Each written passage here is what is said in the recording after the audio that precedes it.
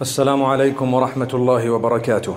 بسم الله الرحمن الرحيم الحمد لله والصلاة والسلام على رسول الله وعلى آله وأصحابه أجمعين. We praise Allah subhanahu wa ta'ala. We send blessings and salutations upon Muhammad sallallahu alayhi wasallam, his entire household, all his companions. We ask Allah subhanahu wa ta'ala to bless them all and to bless every single one of us. Ameen. My beloved brothers and sisters, you and I know that Allah subhanahu wa ta'ala created man from dust. He created man from soil. One might say, well, there is a difference between the two. The reality is, these are different stages within the creation of man. Allah subhanahu wa ta'ala decided to use two components dust and water. So if you take a careful look at it, it was very possible for Allah subhanahu wa ta'ala to use gold to create man, or to use silver to create man, or platinum, or anything that today we would consider valuable. But Allah subhanahu wa ta'ala decided to use dust or soil. And on top of that, when you and I are unclean, we would use water to cleanse ourselves. If there is no water available, we are asked to use dust it will cleanse you. Similarly, we do know that part of the component of man is water. A lot of what we have in us is actually water. May Allah subhanahu wa ta'ala help us understand that He has chosen these two in order to create us for a reason. Similarly, when He created a female, it was His choice. Before I get to that, let me explain to you that there is nothing insulting in being created from dust. Someone says, What were you made from? Now, you cannot say gold, you can't say US dollars, you can't say anything else. You have to say dust. That's it. It is not an insult to you that Allah chose to create you from dust. Your value is determined by what you are today and who you are today and now. And when you go back to Allah subhanahu wa ta'ala, what deeds you are going to take back, that is what your value is determined by. So, why did Allah choose to create me from dust? Like I said, many reasons. We were souls at one stage. Before we were given bodies, we were all souls. Allah wanted to test these souls. So, He gave you a uniform to say, I have a place. But in order to get there for the examination, you need to wear something known as a body. I'm going to put the soul into that body for a short period of time some of the limbs and organs you might lose while you are in that examination, and some of them you may lose towards the end of the exam, knowing that the whole lot you're going to leave behind when you finally return to us. This is why when you and I die, we are taught to bury the body back into the soil and to leave a little gap between the body and where the soil actually goes on top. And the reason is that oxygen that is trapped there is what is used to decompose the body. If there was no oxygen there, there will be no combustion, there will be no decomposition. So that's one of the reasons why you have to leave a gap of oxygen before you actually put the soil. You cannot put the soil, or it is not correct to put the soil straight onto the body. My beloved brothers and sisters, a female is created from the rib of man, according to the hadith sahih of Abu Hurairah radiallahu anh. Now, sometimes you have women who start arguing, no, that narration is like this, and that man is like this, na'udhu billah. It's insulting to say we are from a rib. I want to tell you, if you think it is insulting to be created from a rib, it is even more insulting to be created from dust. So choose which one you want. One of the two. You either say dust or a rib. I think it's a greater honor to be created from a rib, from something living. Hence the name Hawa or Eve. It means one who was created from something living. Subhanallah. This is an amazing, amazing creation of Allah subhanahu wa ta'ala. Let me get to the point I want to raise. When we say dust, it's valueless. When you have dust on your motor vehicle, you cannot wait to wash it, especially if that motor vehicle is a dark color. If you have dust in your room, it means there's something wrong. But you were created from dust. Look at how we look at dust so low. But with us, we suddenly think we're a big, big deal. And Allah raises this with us. You know, we read surahs in the Quran. If I were to tell you, have any of you read Surah Yasin? The majority would say, yes, we've read it. And we haven't just read it once, we read it often. But if I were to tell you, do you know the meaning? Some will say yes. The bulk will probably say no. And if I were to tell you, have you ever pondered over the meaning? I think most of us would say no. There is a verse there that is repeated. Listen to it. أولم ير الإنسان أنا خلقناه من نطفة فإذا هو خصيم مبين Does man not realize? does man not see that we created him from a droplet of semen? Now one might ask, just now you said dust, now you're saying droplet of semen. The original creation from dust. The reproduction, Allah chose a certain method of reproduction, that's His system. So that is a droplet of semen. And Allah says, Has man not seen that he was created from a droplet of semen? And then suddenly, after being one little nucleus and multiplying, becoming a little zygote, an embryo, and thereafter growing by the will of Allah, and you were born, Allah subhanahu wa ta'ala says in another verse of the Quran, والله أخرجكم من بطون أمهاتكم لا تعلمون شيئا Indeed, it was Allah who took you out of the wombs of your mothers. You knew nothing. You knew absolutely nothing. You couldn't even speak, and you don't even remember that moment. None of us here can remember the moment we were born. It's because as much as you know how you were born and when you came onto the earth, you will not be able to remember. Allah says, in order to show you, O oh man, that this life is all about a test. It's a test. So, getting back to that verse, when we were born, we knew not how to speak. But when we learned how to speak, we started swearing. A'udhu billah. We started lying. Astaghfirullah. We started speaking bad. And Allah says, hang on, we taught you how to talk in order that you do not lie, in order that you do not swear, in order that you do not cheat. And you are going exactly into cheating and lying and stealing, so you don't even know why you were made. So Allah says at the beginning that has man not seen we created him from a droplet of semen. And then Allah says beautifully and powerfully, فَإِذَا هُوَ خَصِيمٌ مُبِينٌ Suddenly, when he gains a little bit of ability to speak, a little bit of money, a little bit of authority, he starts becoming so argumentative. He starts arguing about what? Number one, about us. Astaghfirullah. There are people who claim Allah does not exist. That's one. But Worse than that are those who claim Allah exists but they don't follow, they don't obey. Subhanallah. So Allah says, Look at man. He knows he was nothing. In fact, you know Surah Al-Dahr. I'm sure we read it in this masjid mostly all the Fridays we try to read the Sunnah of Surah Al-Dahr, Surah As-Sajda and so on. You will hear the first verse. I'm sure we've heard it. هل أتى على الإنسان حين من الدهر لم يكن شيئا مذكورا Has man not passed through a phase when he was nothing even mentionable, nothing worth mentioning? Look, if I am 45 years old, for example, where was I 46 years ago? Nowhere. Where was I 50 years ago? Definitely nowhere.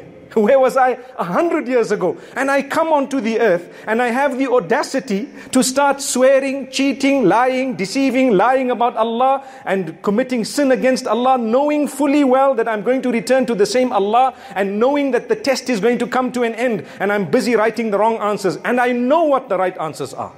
Astaghfirullah. That's why Allah says in Surah Yasin, look at man, look at him.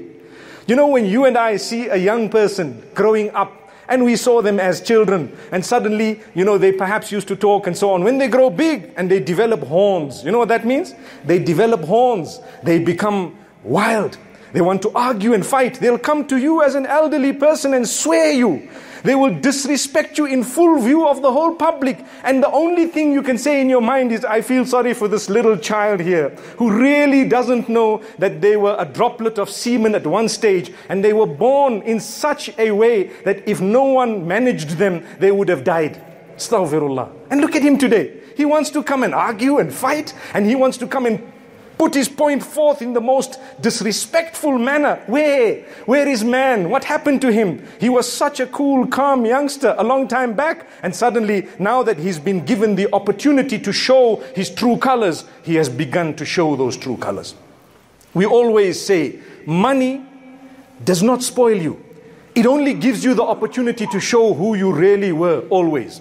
If you were a really calm person, you really love Allah, you had good character and conduct, no matter how much money you have, you will always remain calm and you will always understand this is from Allah. I'm a person humble. It will bring you closer to Allah. But if you always had within you this complex that needed to be shown, but because you didn't have money or authority, you could not show it. The day you got it, that's the day you started showing everything. Well, these are your true colors. Allah says, فَإِذَا هُوَ خَصِيمٌ مُبِينٌ Look, suddenly he became so argumentative. He became so sinful. He became such that he's transgressing day and night. How can man do that? Let's go back to Surah Al-Dahr. I mentioned the verse where Allah says there was a time when man, you and I, we were nothing even mentionable. We couldn't even be mentioned. If someone said there was a baby born or there is a fetus, someone might say, what is the gender? You could either say it is a he or a she, a male or a female.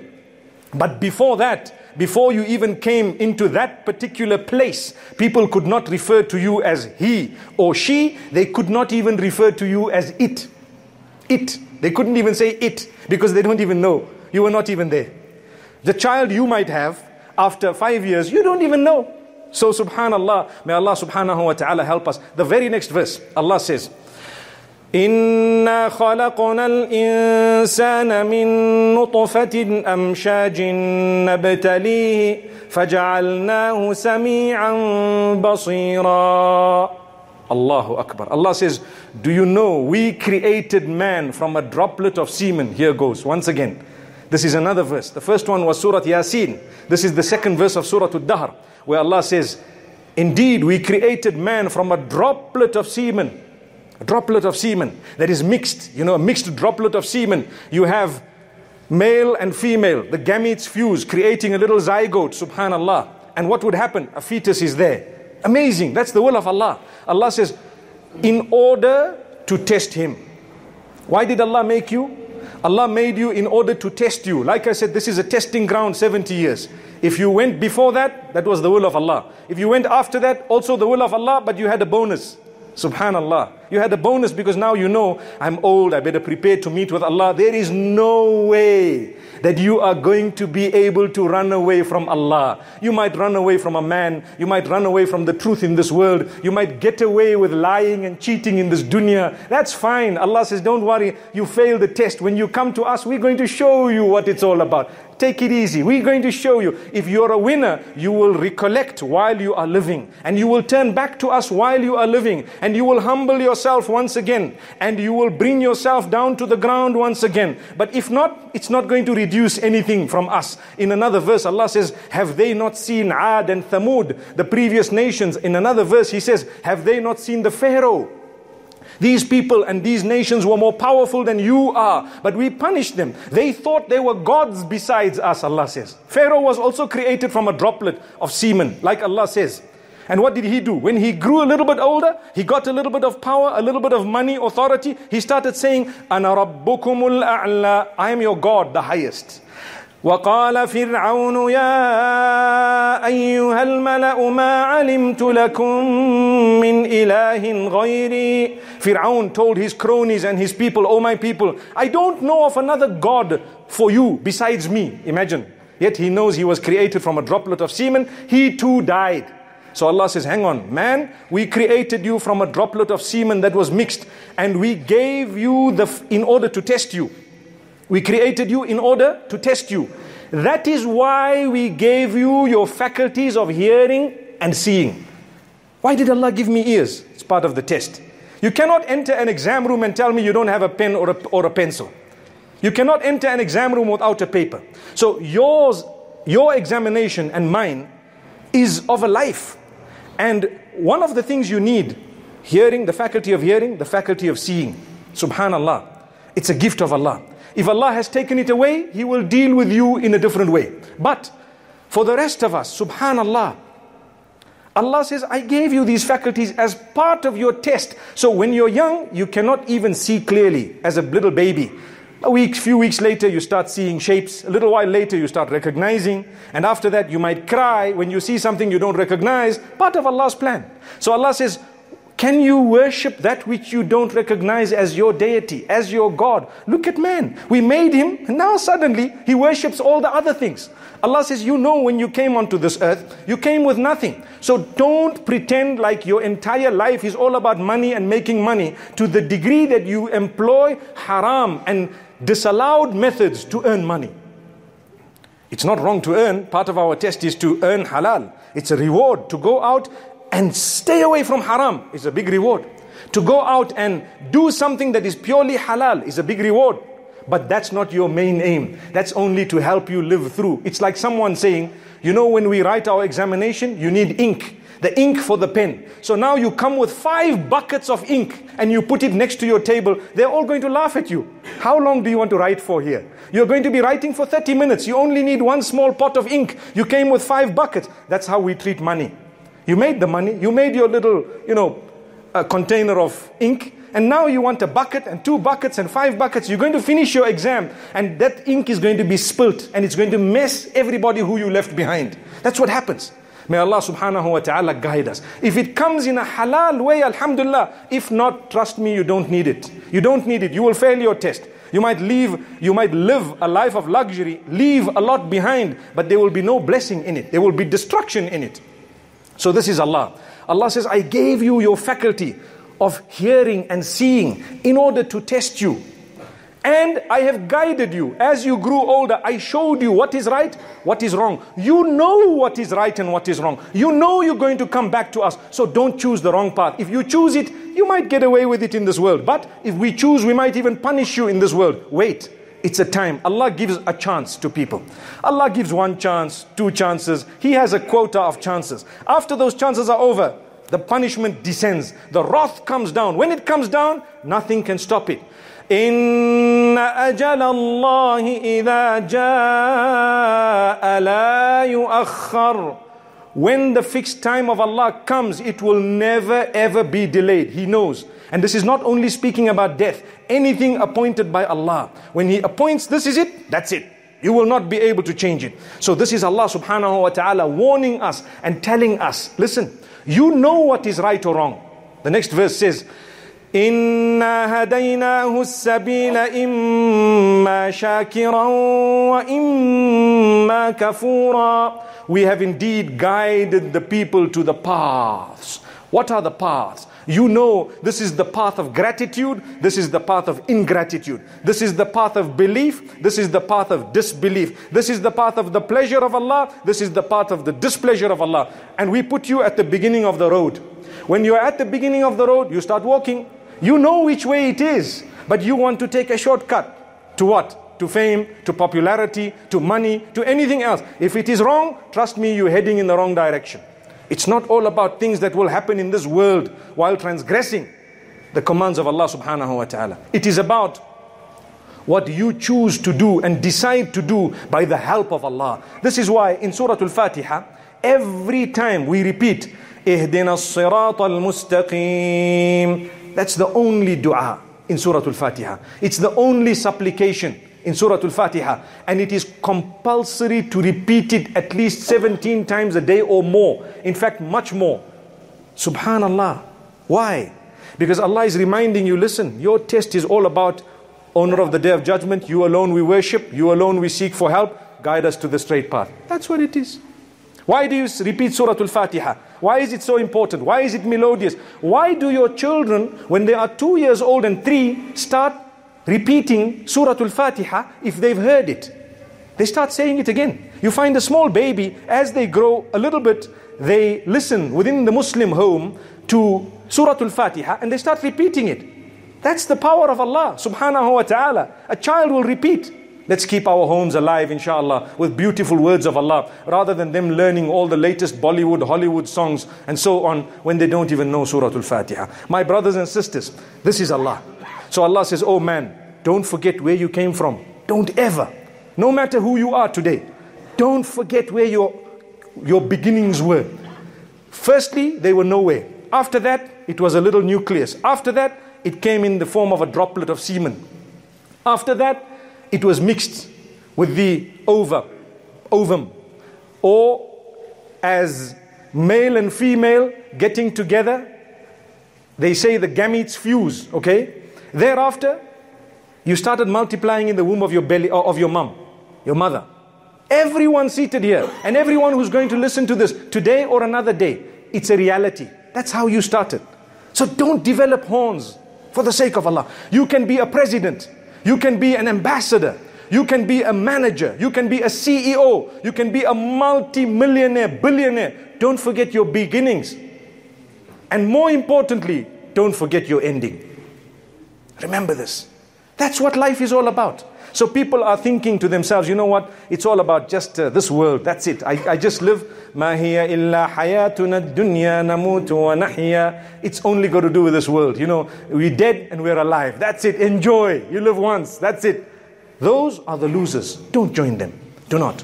Remember your beginnings. In fact, with a lot of us, remember the times when you had nothing. Perhaps no shoes. Perhaps no clothing. Perhaps nothing at all. Remember that. Always be grateful. Like Allah says, we showed you the path of gratitude and ingratitude. If you want to be ungrateful, you're not going to harm people, you're not going to harm Allah. You are harming yourself.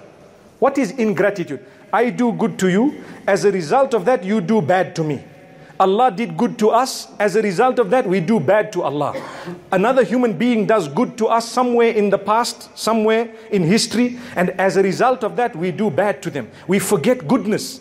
Yet the Quran says, هل جزاء الإحسان إلا الإحسان For a true believer, can the recompense of goodness be anything besides goodness? Someone did good to you. Wow, you do even better to them. A man helped you come on your feet. When you're on your feet, you help him fly. Subhanallah. Amazing. That is gratitude. And if you don't show gratitude to man, the hadith says you will never be able to show gratitude to Allah. Because when man does good to you, it's clear. You saw the man give you, you saw the man help you. If you appreciate that, you will understand where Allah fits in that picture. This was physical. So you understand the unseen only when you've understood the physical. May Allah subhanahu wa ta'ala bless us all. The message that I have for myself and yourselves today is let's never forget the beginnings. Let's never forget how we were some time back, whether it was before birth, during birth, immediately after birth, and let's look at where we are today. Thank Allah. Be thankful. Don't show ungratefulness. Don't be from amongst those who are filled with ingratitude. No. When we die, wallahi, we want to die having pleased Allah subhanahu wa ta'ala. We don't want to die on the wrong side. The last thing is, brothers and sisters, there is always hope. What is that hope? Allah subhanahu wa ta'ala always says, وتوبوا إلى الله جميعا أيها المؤمنون لعلكم تفلحون If you really want success, O you who believe, turn to Allah in repentance. Repent. Ask Allah's forgiveness. He will wipe out whatever you've done in the past. He will start a new slate for you. You become a person very close to Allah through repentance. So remember, do not undervalue and underestimate repentance, tawbah seeking the forgiveness of Allah. May Allah subhanahu wa ta'ala grant us that and may Allah subhanahu wa ta'ala bless us all in this world and the next. Wa sallallahu wa sallama wa baraka ala nabina Muhammad.